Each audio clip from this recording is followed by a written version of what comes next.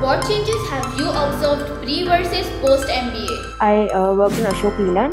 So I joined in Ashok Leland as a graduate engineer trainee uh, from campus placement, they recruited us. And there I was uh, involved in the functional excellence department. I think the reason why I wanted to do an MBA was because I felt that my function was very constrained in a few things, constrained in a few uh, aspects, and I just wanted a holistic view of the other managerial functions and i just felt that uh, that was my inclination because i often worked with the top management back there and i really liked the way they approached things. They had a very structure to every thought they had put in. And i think just that and the whole perspective they had in general was something that i really admired. And i think that was why i decided to do an mba uh, i think i should have done an mba sooner but the realization came a little bit later.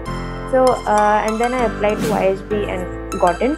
Post isb um, uh, I'm joining Jubilant Foodworks as a management trainee in the supply chain domain. So it's been two weeks, and um, I think right now just the induction process is going on.